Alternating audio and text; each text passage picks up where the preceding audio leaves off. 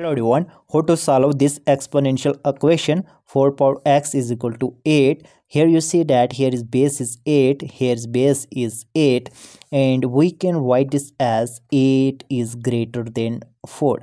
And both this term 8 as well as 4 is greater than 2 and both uh, this term 8 as well as 4 can be written in terms of 2 just like this 8 can be written as 2 power 3 and 4 can be written as 2 power 2 now in place of 4 we put 2 power 2 we have 2 power 2 bracket power x is equal to in place of 8 we put 2 power 3 now in the next step we have 2 power 2 of x is equal to 2 power 3 now it is in the form of a power n is equal to a power m.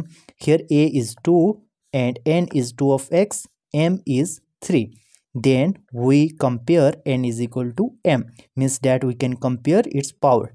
Means that 2 of x is equal to 3 in the next step on dividing both side by 2 we have 2 of x divided by 2 is equal to 3 divided by 2 we have this 2 and this 2 can be cancelled out.